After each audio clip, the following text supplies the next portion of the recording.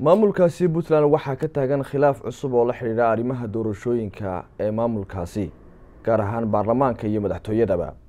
Kadib markii isimada gobolka sool ay maalintii shalay tole ku dhawaaqeen in aanay soo xuli doonin toddobiyo tobanka xildhibaan ee ay ku lahaayeen maamulkaasi. Dhowaan ayuunbay ahayd markii la xaliyey khilaafkii doorashooyinka ee maamulkaasi puntland kan ayaana noqonaya khilaaf cusub oo saameyn ku yeelan doona arrimaha doorashooyinka ee maamulkaasi puntland haddaba ba arrimahaasi ayaanu falaqeyn ku eegi doonaa waxaa nagala qeybgelaya weriye salebaan ibraahim xaashi. Salebaan ugu horreyn ku soo dhaweynayaa bal xaaladda cusub ee puntland ka soo kordha maxay tahay? Guleed aad baad umahadsan tahay sidaynu ka warqabno maamul goboleedka puntland. Tan iyo shalay markii uu soo baxay go'aankii isimada gobolka sool ay ku sheegeen inaanay qeyb ka noqon doonin xulista xildhibaanada maamul goboleedka puntland doonaya inay baarlamaanka galaan. Islamarkaana ay gebi ahaanba ka baxeen maamulka puntland. Waxaa taagnaa arrimo badan oo saameyn ku leh maamulkaasi puntland oo mustaqbalkiisana si weyn u saameynaya. Maadaamaynu ognahay in maamulka puntland oo imika isu diyaarinayey inuu doorashadii madaxtooyada ama madaxweyne madaxweyne ku-xigeenka baarlamaanka inuu galo bishan aynu ku jirno oo imika dhammaadkeeda in la soo saaro liiskii u dambeeyey ee xildhibaanada noqonaya baarlamaanka puntland. Sidoo kalena bisha dambe ee january iyadana madaxweynaha sideedeeda la dooran lahaa. Qorshahaasi ayaa waxaa saameyn weyn ku yeeshay. Hadalkan ka soo yeedhay garaadada sool oo iyagu qeyb weyn hore uga ahaa xulista ama xildhibaanada loo xulo maamulka puntland marka taasi ayaa imika cusub oo saameyn weyn ku yeelatay islamarkaana jihadii ay u socotay doorashada maamulka puntland ee qorshahaas ahaa in bishana dhammaadkeeda la soo saaro maalmaha soo socda in liiskii xildhibaanada la soo saaro bisha dambena madaxweyne madaxweyne ku-xeenka la doorto ayay hadalkan garaadada reer sool uu saameyn weyn ku yeeshay maadaama oo ay ahayd arrin go'aan si lama filaan ah loo qaatay oo garaadada gobolka sool iyadoo arrimo badan ama darano badan ay ku xeernaayeen go'aan qaadashadoodani ay shalay shaaciyeen. Taas ayaa cusub oo saameyn weyn ku yeelatay maamulka puntland ilaa imikana ma jirto war rasmi ah oo ay ka soo saareen madaxda maamulka puntland arrintan hase yeeshee waxaa cusub oo hadal ka soo saaray boqor burhaan boqor muuse oo ka mid ah isimada ugu waaweyn ee deegaanada maamulka puntland oo sheegay in shir deg deg ah isimada maamulkaasi isugu yimaadaan si looga arinsano si looga arinsado sida hadalka u dhigay xaaladda cusub ee puntland soo food saartay iyo sidii loo badbaadin lahaa ayuu hadalkiisa ku daray. Marka arintan waxa ay jihaysay ama magaranaysaayay khalkhal siyaasadeed ku keentay mustaqbalka maamulka puntland jihadii ay doorashadu u socotay iyo weliba aayaheeda halka uu ku dambeyn doono maamulkaasi ayaa hadalkan garaadada reer sool ay shalay soo saareen ay saameysay waay salabaanow marka ismada gobolka sool maxay ku diideen inay xulaan toddobiyo tobanka xildhibaan?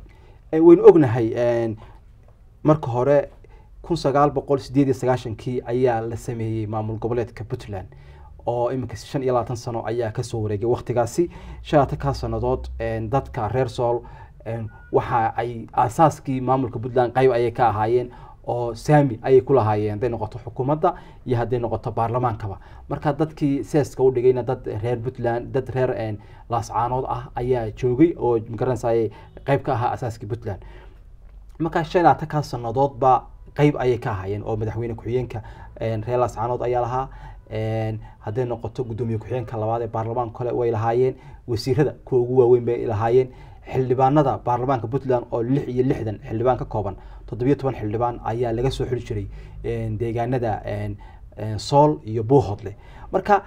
iyada oo sidaasi ay magaranaysaay qeyb uga tahay ayaa waynaga ogeyn xaaladda laascaanood isbedeladii ka dhacay kacdoonkii halkaasi ka curtay bishan oo kale sannadkii labadii kun iyo labaiyo labaatankii waa tii magaranaysaayey halkaasi saameyn weyn ay ku yeelatay dadka deegaankaasuna ay sheegeen in ay doonayaan inay maamul gaar ah ay samaystaan. Marka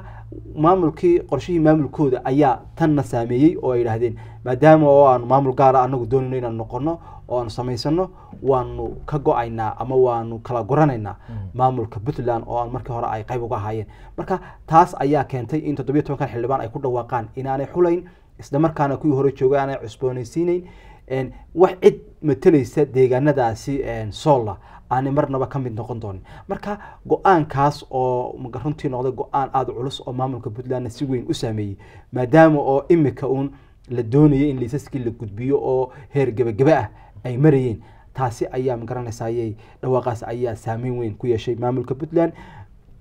Sababta ugu weyn ee ay garaadada reer sool go'aankan u qaateen waxa weeye oo ay leeyihiin maadaama aanu dooneyno in aanu maamul gaara samaysano ama aan noqono haddii cid matalaysa deegaanadayadu ay maamulka puntland baarlamaankiisa ka soo muuqato taasi waxay lafjab ku tahay oo ay dhaawacaysaa damicii aanu doonayno in laascanood maamul gaara ama aan iskeed ay isu maamusho. Marka marka garaadada lafdoodana waxaad arkaysay in magaranaysaayey maalmahanba aada loogu cadaadinayey in ay go'aankan qaraar ay qaataan oo cadaadis dhinaca shacabka ka imanayay ayaa ayaa lagu saarayey inaanay arinta maamulka puntland ay faraha kala baxaan qeybna aanay ka noqon waxyaabaha la xulayo. Marka cadaadiskaa garaadada haystay iyo muxuu ahaye qorshaha maamulka ay samaysteen oo ay u arkeen haddii maamulka puntland baarlamaankiisa ay ka soo muuqdaan inuu maamulkoodu dhicisoobi doono ayaa go'aankan ku kalifay. Marka go'aankan wuxuu noqday mid puntland bambambo siyaasadeed ku dhex ku noqda oo ilaa imika muxuu ahayey la dhinaca looga bixi doono. Waana ta keentay in muxuu ahayey boqor burhaan uu soo saaro baaqan maanta way salabaano caqabad nooceyay ku noqonaysaa doorashooyinkii puntland puntland ee dhow go'aanada ay soo saareen ismadu saameyn xoog leh ku yeelanaysaa guuleedu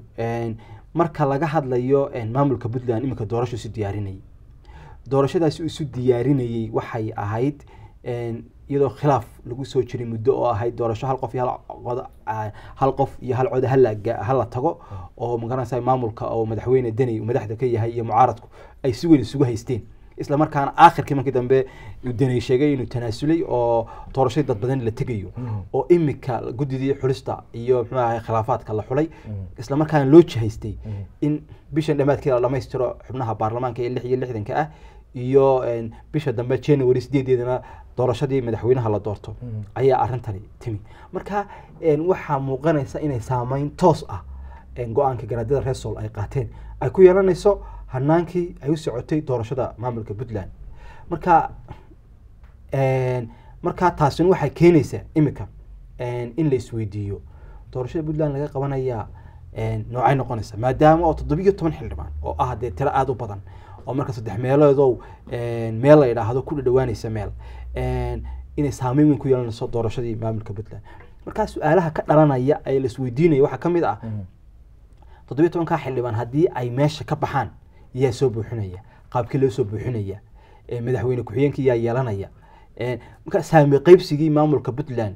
uu lahaa oo dhan baa dhaqaaqay oo ma garanaysayay dhibaato ay ku tahay arrintani ama go'aankan garaadada reer sool qaateen marka cid kasta xataa imika waxaad arkaysaa beelihii kale ee maamulka puntland deganaa ayaa qaarkood ay leeyihiin hala qaybiyo bahashi kurasti oo qaarkood leeyihiin madaxweyne ku-xigeenkii hana la siiyo ay qaar leeyihiin xildhibaanadii anay qaar hana la siiyo iyadoo oo aan weli go'aan maamulka ka soo bixin. Marka waad arkaysaa in arrintaas jahwareer siyaasi ah oo dhinaca mustaqbalka ah ay puntland durba ku yeelatay. Marka marka hore dadku waxay filayeen ama dadka siyaasadda oo dorsaa waxay lahaayeen waxaa dhici karta maalmaha soo socod tusaalahaan oo kale in dad maxay ahaydey de garowa joog oo siyaasiyiin oo reer laasconood ah in qaab aan raalli laga ahayn ama ama muxuu ahay xukuumaddu ay u xusho ama mucaaradku ay u xushaan. Laakiin taasi hadalkan burqa hadalkan ka soo yeeray boqor burhaan ayaad moodaa inuu hadal qorshahaasi ama waxyaabaha la saadaalinayay in uu saadaashaasi magaranaysaayey meesha ka saari karayo oo uu leeyahay oo maadaama oo uu leeyahay boqor burhaan. Garaadada reer sool baaqoodii ama go'aankoodi waanu ixtiraameynaa isimada reer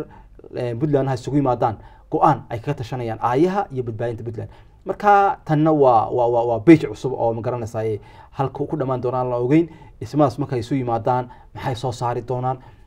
Doorashadii oo food ay nagu soo hayso oo bishan iyo bisha dambe ay kala dhacaya dib u dhac ayaa kolley haa ka muuqanaya. Dib u lafdiisana mucaaradkii iyo muxaafadkii inay taa lafteeduna halkaasi ka abuurto khilaaf hor leh ayaa dhici karta.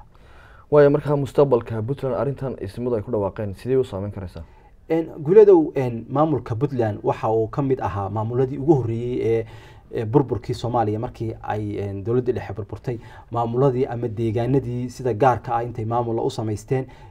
deegaanadooda ka shaqeeyey horumarkooda iyo nabadooda. Kun sagaal boqol sida hore sheegay sideed iyo sagaashankii ayaa la sameeyey. Marka puntland aasaaskeedii waxyaabaha uu ku asaasma waxaa ka mid ah in uu sheegto deegaano somaliland ka mid ah oo xuduudii ingiriiskii somaliland uu gumaysanayay magaranayay deegaano ka mid ah oo ka mid ah sool oo kale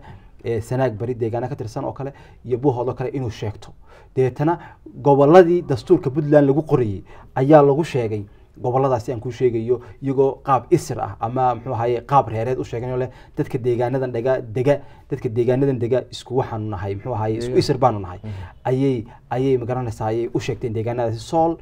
sanaag bari iyo buuhoodle marka maadaama deegaanadaasi ay qaabka isir u sheegteen ama qaabka ma garanaysaa dad inay isku ehel yihiin ay u sheegteen. Maadaama imika ay yidhaahdeen waanu ka baxaynaa saameyn weyn ayay ku yeelanaysaa. Oo tusaale ahaan oo kale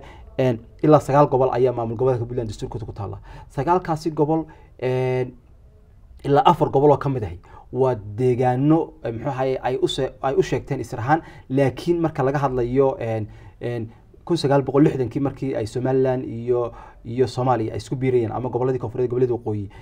afar gobol oo waa goboladii raacsanaa gobollada waqooyi ama somaliland imika ah ayay raacsanaayeen oo markaa ay qabiil ahaan ay u sheeganayeen iyagu. Marka taas saameyn weyn ayay ku yeelanaysaa oo waxay noqonaysaa in dastuurkii puntland dib loogu noqdo oo goboladan laga saaro. Waxay noqonaysaa in saami qaybsigii uu saameyn ku yeesho oo saami qaybsigii laftiisii dib loogu noqdo. Marka waa arrin aada u cakiran oo magaranaysaay puntland imika dhex taagan qaabka looga dhaqaaqayo meesha looga dhaqaaqayana ay wax badan ku gadaaman yihiin waxyaabaha kale ee mustaqbalka ay saameynta ku yeelan karta guuleed waxaa ka mid ah xusuda mudan puntland waxay isu dhigaysay ama magaranaysa isku tilmaami karta inay tahay hooyada federaalka. Maadaama ay ahayd maamul goboleedkii ugu horreeyay lagu dhawaaqay isla markaana si weyn saameyn ugu lahayd siyaasadda dowladda dhexe ee soomaaliya. Marka haddii imika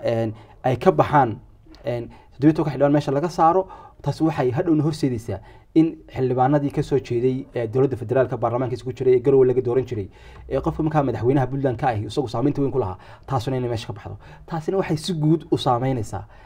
mustaqbalkii siyaasadeed ee puntland ee federaalka. Oo waxaa laga yaabaa miisaankii cuslaa ee ay lahayd markay magaranaysa xildhibaanadan kale ay wadatay in aanay yeelan doonin. Oo waxyaabaha ku gorgortami jira waxaa ka mid ah marka ay ay puntland ay isku dhamayd waxaa ka mid ah ay ku doodisay in ay magaranaysa ama madaxweyne ku loolanto ama ay ku loolanto maxay ahayday ra'iisul wasaare. Taasina waxaa laga yaabaa saameyntii ay lahayd. Maadaama oo dood kale oo muxuu ahayey